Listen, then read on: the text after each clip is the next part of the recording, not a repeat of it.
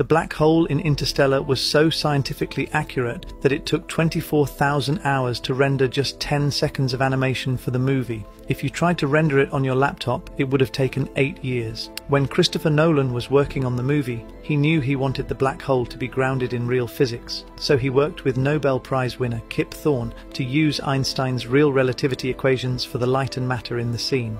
Thorne won the Nobel Prize in 2017 for his work detecting gravitational waves from black holes colliding, so he was the right guy for the job.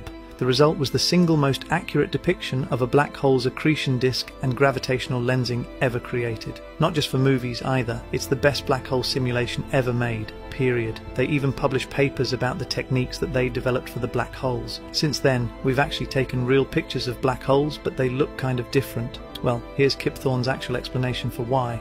I don't think they look very close alike at all. So we're just going to move the camera from the near the equatorial plane up to the North Pole. And so if you do that and then you fuzz things out because the Event Horizon Telescope doesn't have very good resolution, lo and behold,